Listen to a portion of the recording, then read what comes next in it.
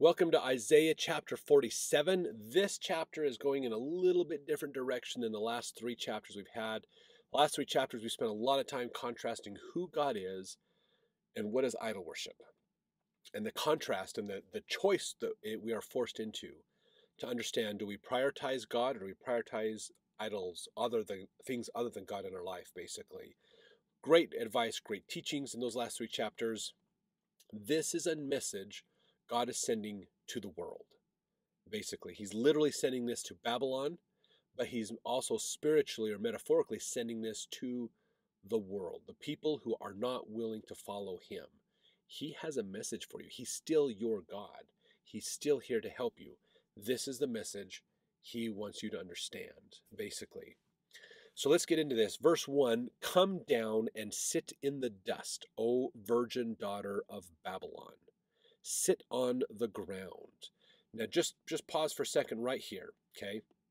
Sit in the dust. If you're sitting in the dust, then you are low. You are on the ground. You are below the chairs and the thrones and tables and everything else. You are in a state of humility. And I like these, O virgin daughter of Babylon uh, is really interesting. So this is getting into that. Uh, this can mean virgin can mean young woman, not a woman who has never known a man. Basically, is what they sometimes they'll say in here. Um, that's it, it can virgin dot virgin. Just if you look at the beginning earlier in Isaiah, I think it's Isaiah chapter seven.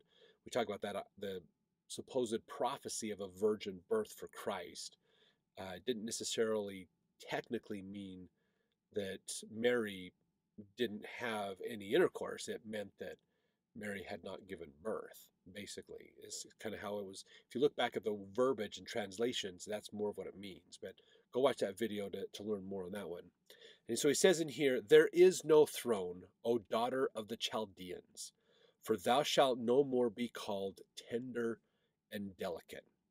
And I mentioned in the last chapter that women have such a role in understanding the, the gospel of Jesus Christ. God uses women's perspective and women's lives as a metaphor for understanding some of the really core ideas around the gospel. And Isaiah's Isaiah is really a book written about women, basically. It's it's understanding the gospel through a female perspective. Because the female perspective is using metaphorically to understand the the challenges and issues and the things that are going on and the relationship with God and those things. It's it's pretty interesting.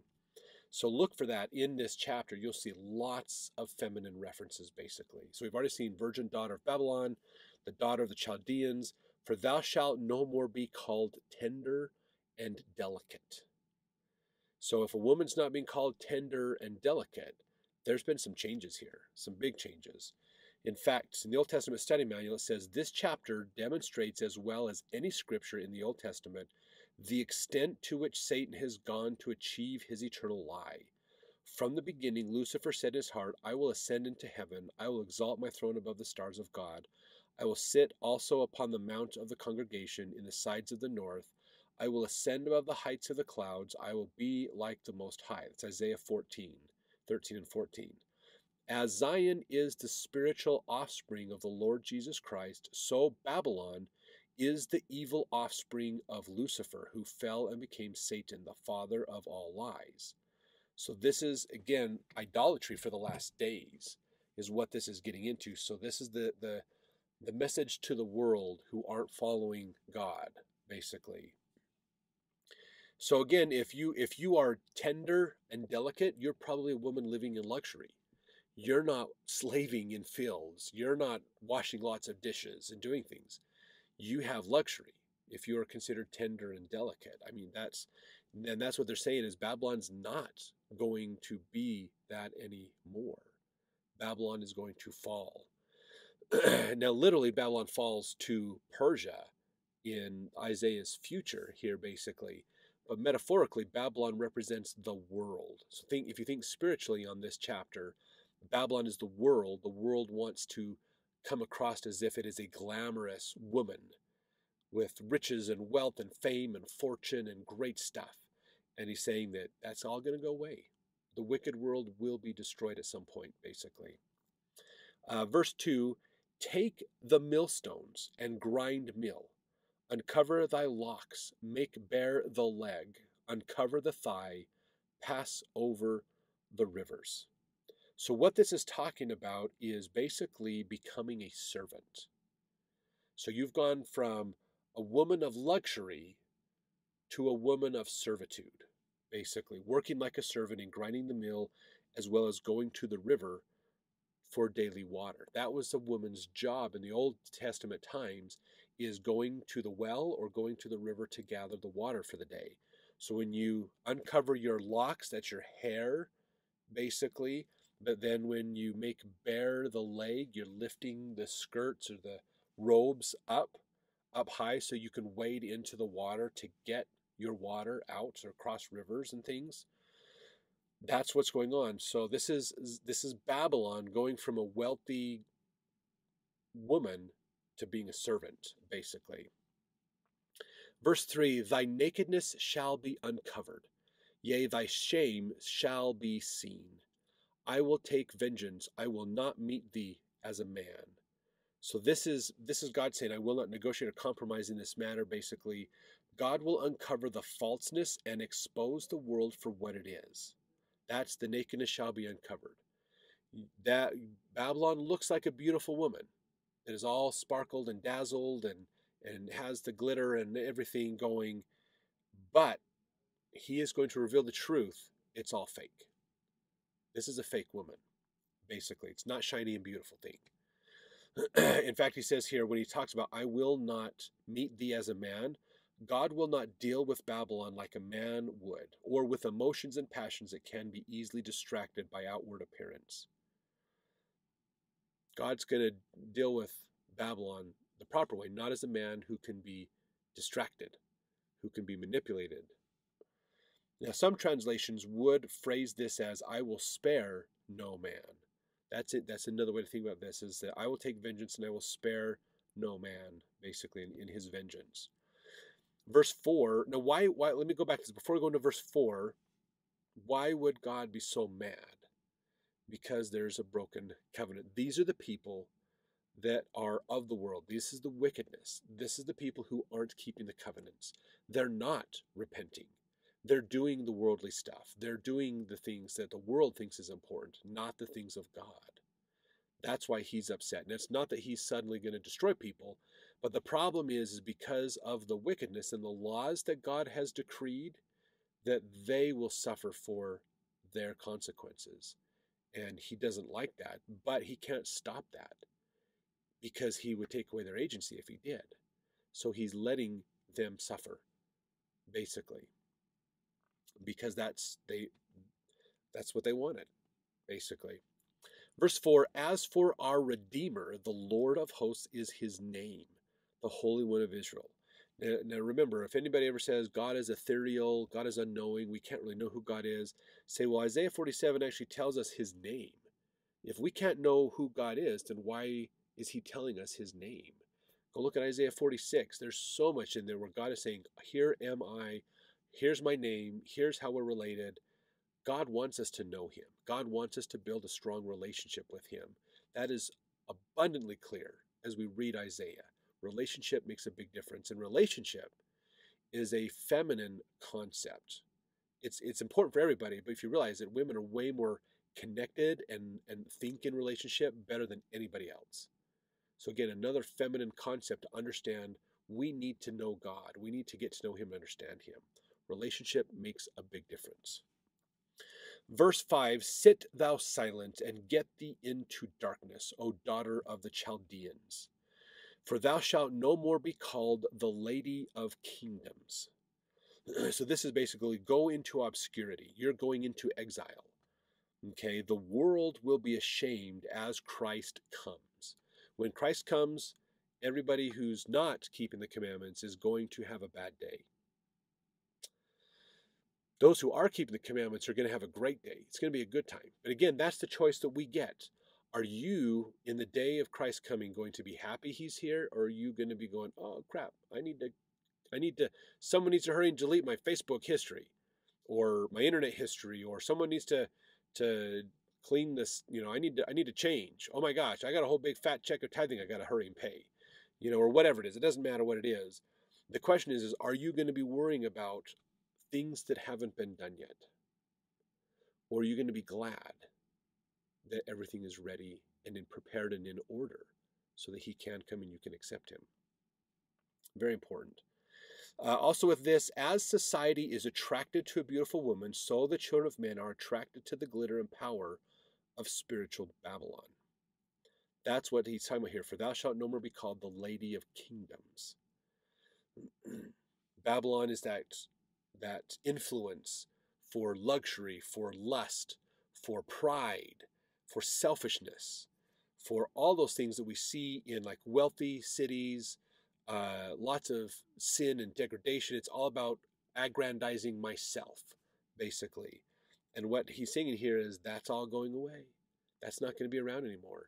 So here's this is a good thing for us to think about because this is a message to the world. If if you are not keeping the things of God, then these are things you need to worry about. If you are keeping things of God, then this chapter shouldn't bother you at all. This is this is a good contrast, a good thing for us to think about. Verse 6 I was wroth with my people. I have polluted mine inheritance and given them into thine hand. Thou didst show them no mercy. Upon the ancient hast thou very heavily laid thy yoke.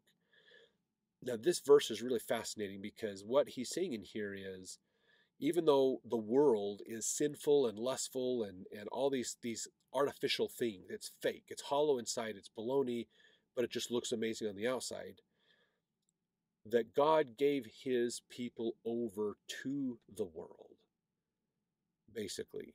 He gave the world power over his people. and what happened? The world put a very heavy yoke on his people. They hurt them. Now, this isn't so much God saying, "Fine, you take them. I'm done with these these people. I'm gonna I'm going to hurt them out of spite or nothing." This is because his people looked at the glamour and the glitz and said, I want that. I want what the world is doing. If you think of this, think of that. This is Isaiah 47 is fascinating because Isaiah 47 is basically another uh, looking at the prodigal son story from a feminine perspective. Basically, this is the prodigal son. The the prodigal son said, I want what's uh, the grass is greener on the other side. I want what the world wants. Give me my inheritance and I'm out of here. And then he left. Basically, not that God, not that his father wanted him to go to the world, but his father didn't stop him either because he let his son make his own choice. That's what he's doing here. The Israel went wicked. Israel wanted to do what the world wanted to do. And because of that, the world destroyed Israel. The World hurt Israel bad. So he rejected them due to their sins. But what he's saying here is basically, you didn't win over Israel. I gave them to you because of their wickedness. I let them come to you because of their choices. so the world might be like, oh, look, we've taken the chosen people of God and we've corrupted them and made them bad and made them like us. This is amazing. No, God let them leave. The world had no power over them. God let them leave and they gave themselves over to the world. This is the, if you think of Lehi's dream, this is the people leaving the tree of life and going to the great and spacious building. This is that same idea, that same concept. Uh, and th- though the wickedness of Babylon may appear attractive because it is easy or pleasurable, it only enslaves its subjects. It puts a heavy yoke on them. This is what the prodigal son found out. When he went out and partied, so long as he had money, everybody liked him. When he ran out of money, nobody liked him because they didn't care about him. They cared about what he could do for them, like spend his money for their benefit. It's hollow, it's fake.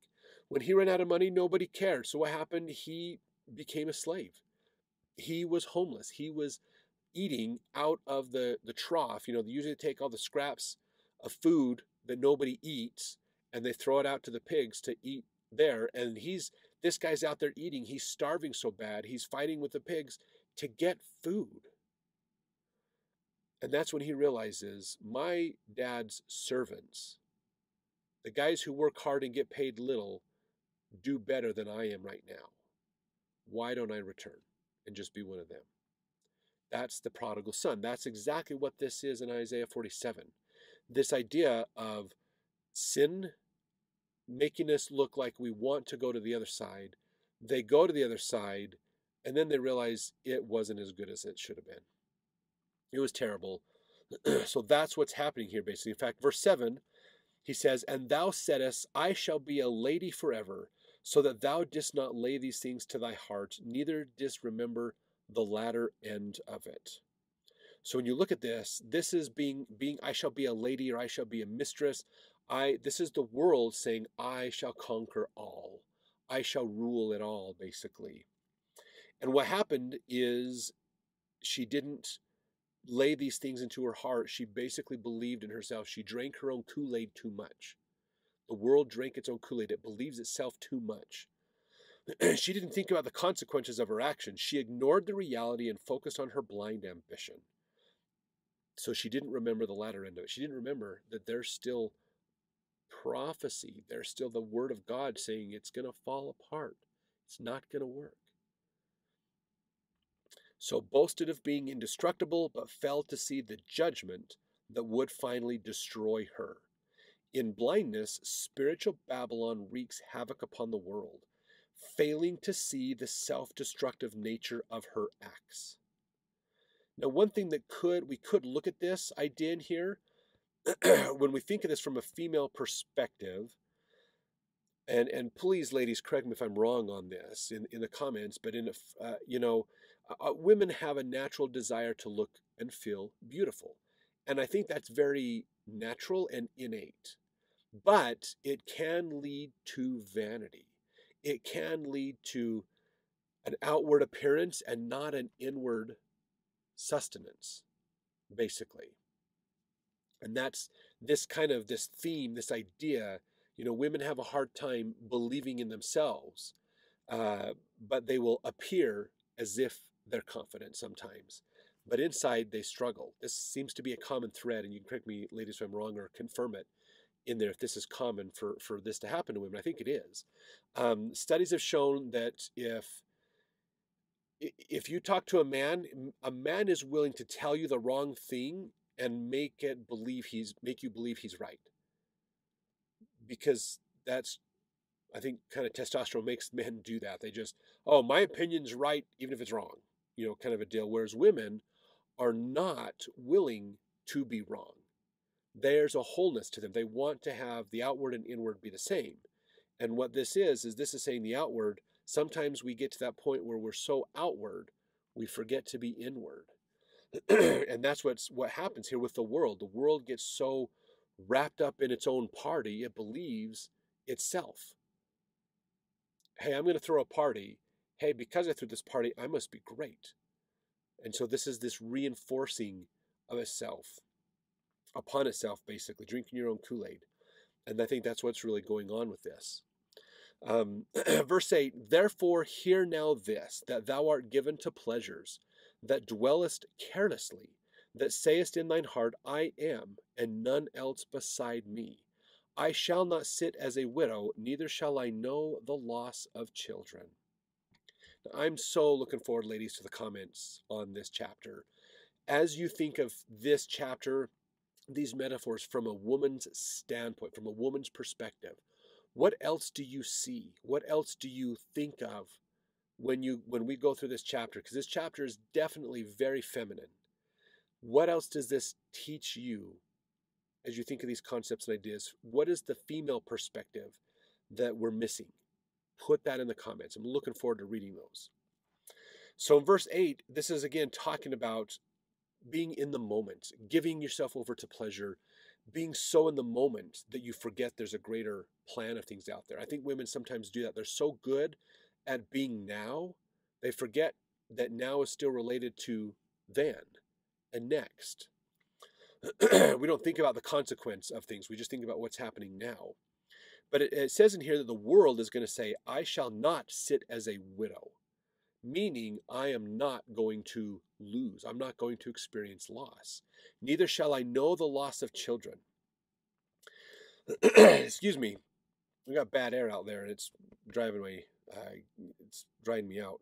Edward Young said in his book, Book of Isaiah, he says, Another translation of this verse can be, And now hear this, O voluptuous one.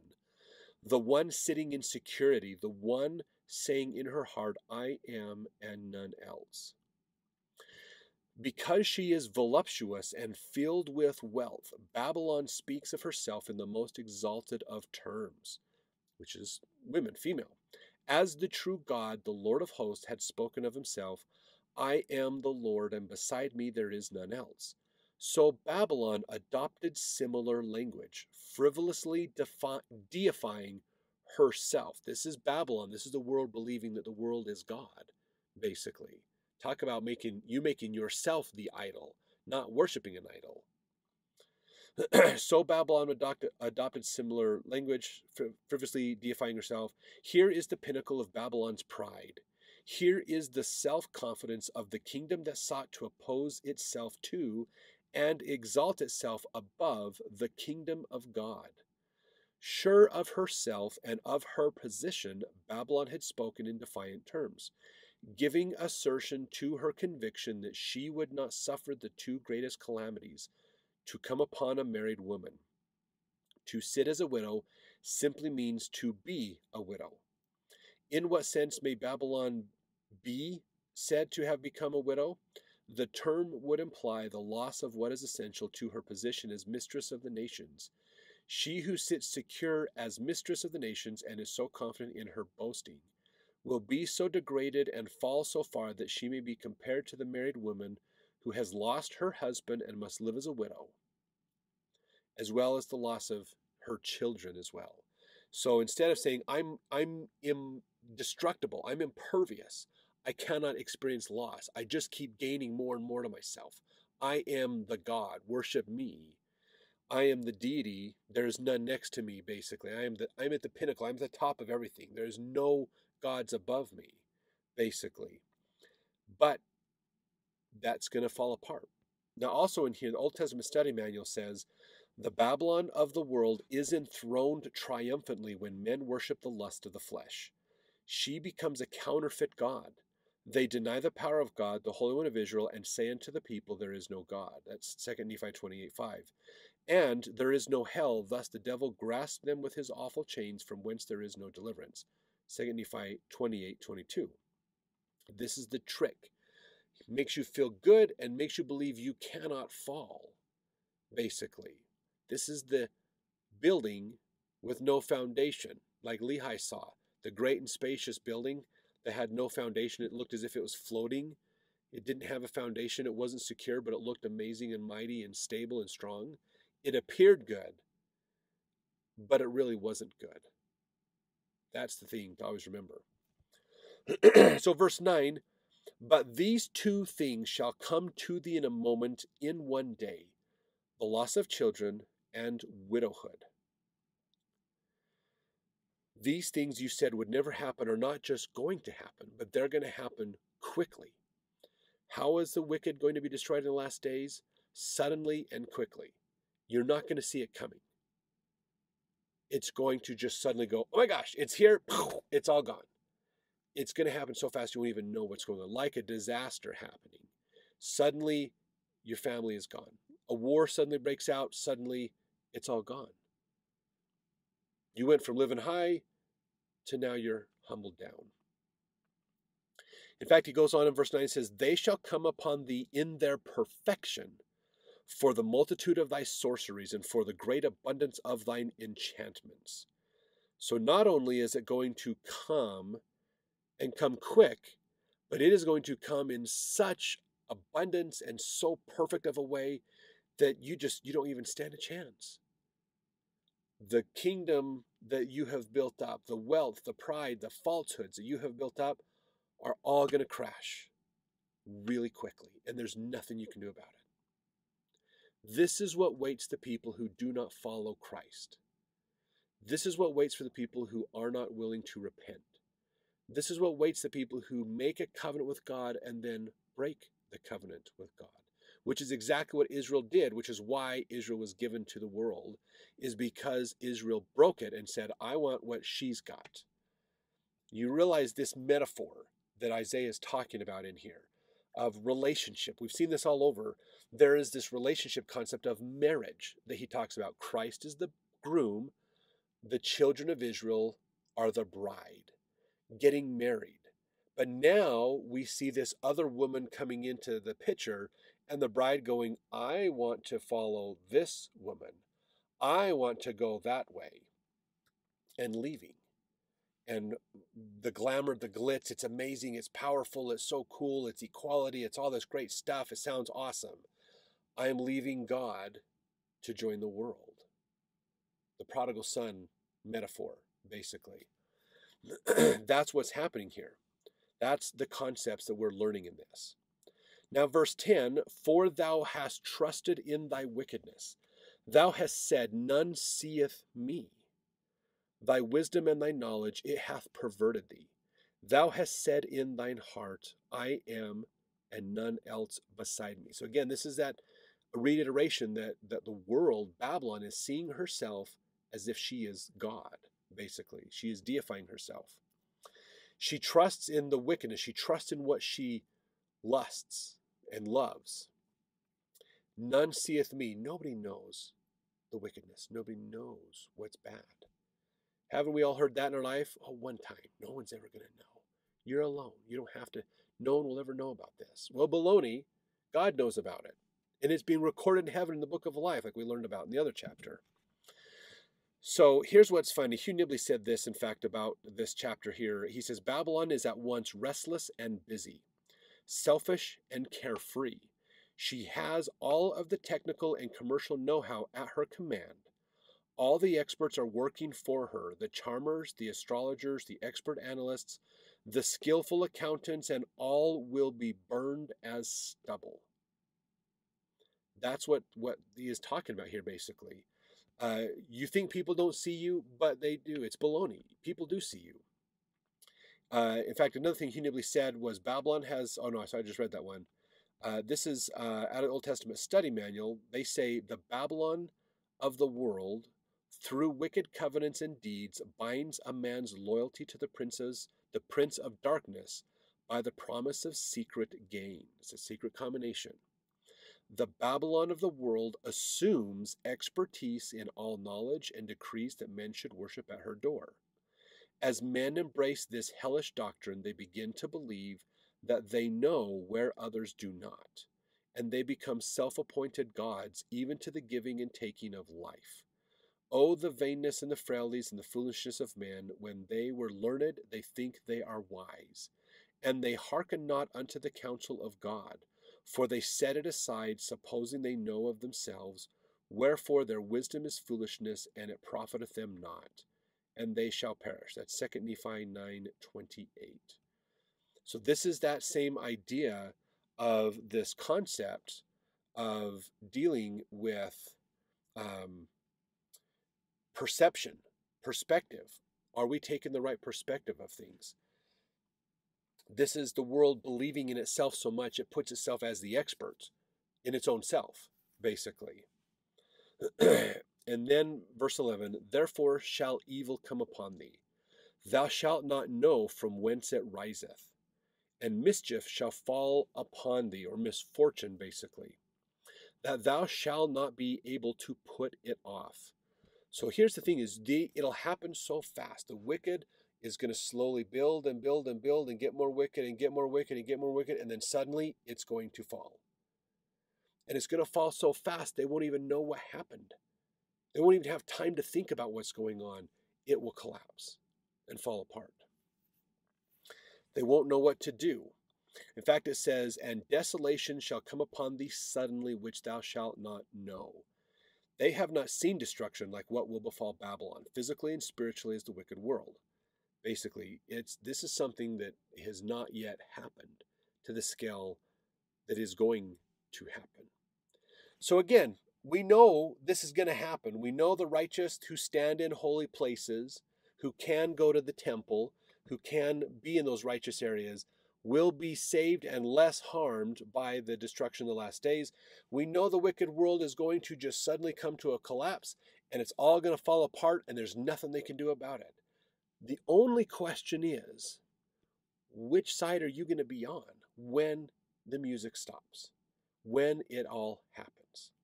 That's the only question that you have to decide. That's the only thing that you have to think about. Do I want to be in holy places? Do I want to have the worthiness to be in those holy places, or do I want to be over here and party and have fun? You have to decide. This is the whole dynamic of life. You decide where you're going to be, basically. You know both sides are there. You get to choose which one. That's what the whole point of this world existence is about. So, verse 12 Stand now with thine enchantments, and with the multitude of thy sorceries, wherein thou hast labored from thy youth. If so be thou shalt be able to profit, if so be thou mayest prevail. So they're saying in here basically, you, you know, try to get yourself out of it with your own powers. Take your enchantments, take your sorceries, take the stuff that you have thought you believed in, and see if it helps you get out of the mess. Good luck by the way. That's what verse 12 is. Now, verse 13, thou art wearied in the multitude of thy counsels. So again, this is this idea of there's you're trying to save yourself using your own ideas and your own logic, and it's not going to work. It's just a bunch of talk. It's baloney. Let now the astrologers, the stargazers, the monthly prognosticators stand up and save thee from these things that shall come upon thee. So, using the stars and the moon to predict fortune and trials is what the prognosticators are doing, basically. And he's saying here, with so much going on, our, your experts won't know what to do. There will be confusion. There's nothing. They don't even know it's coming. They can't save. They can't save you. They won't be able to at all. There's nothing you can do except make a different choice. Repent, let Christ take your sins, follow Him. Put Him first in your life, prioritize Him, and let Him lead. Follow what the Spirit is telling you and stay close to the Spirit. That is what you can do different. And if you do that, then you don't have to worry about chapter 47 shouldn't shouldn't worry you. Chapter 47 should be like, "Oh, I'm glad I'm not going to feel that." Basically. Uh, verse 14 Behold, they shall be as stubble. Now, stubble is the is a little bit of the weeds and grain that's left in the ground after they've harvested and they cut the weeds down. Stubble is what's left, basically. So they've been cut down. They've been humbled and destroyed. The fire shall burn them. They shall not deliver themselves from the power of the flame. There shall not be a coal to warm at, nor a fire to sit before it. So this is really interesting that the fire will burn them. They are the fuel for the fire. They are not the fire's not there to bless them. The fire's there to destroy and curse them, basically. They won't have comfort because it's not it, that's not what the fire is there for. It's to comfort and help them, basically. It's destroying them. So, and this is that again, thus shall, this is what's going to happen. This is the Lord has decreed this. Verse 15 Thus shall they be unto thee with whom thou hast labored, even thy merchants from thy youth. They shall wander every one to his quarter, none shall save thee. There it is, folks. The wickedness of the world will be destroyed. God has decreed it. He has told us it's going to happen, and He said it's going to happen in a way that you will not know it's coming. It's going to be swift, it's going to be sudden, and you won't even have a you won't even be able to react to it. It'll happen so fast. Like kind of like an earthquake hitting or a tornado hitting.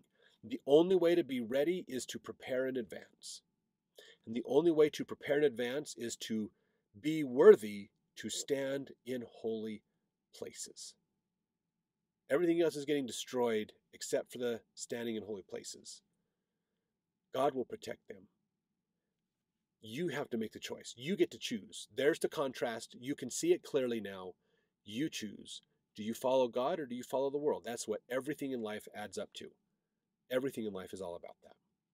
So I hope seeing this contrast in this chapter as well as the last three chapters dealing with with who God is and idolatry helps you see this contrast, helps you see that the whole point of what Isaiah is telling us, that God is telling him, is here's the future, here's what's coming, here's the choice that you have. You get to make the choice. Your thoughts and your actions will continually belay out which choice you make. Now, the beauty is, as long as you're alive, you can repent. So even if you choose to go to the world side for a bit, you can still come back. But the problem is, is if you leave this life and you're still over here, I don't know how easy it is to get back. That's the hard part. So in this life is the ultimate opportunity to make that choice. Do we follow what God wants? Do we repent? Do we give up our sins? Do we stop doing those dumb things and follow what God says? Even if it doesn't make sense to the world, we still follow what God says. Or do we do what the world says? Do we follow the world's logic? Well, you can't follow both. You're going to follow one or the other. This is that dynamic, that contrast in life that we always have to think about. So pay attention to these things. And thank you for watching this video. I hope you've enjoyed it. Like the video, share it out with more people. And let's jump to the next chapter of Isaiah as we continue to move forward in understanding the profound teachings that Isaiah has for us.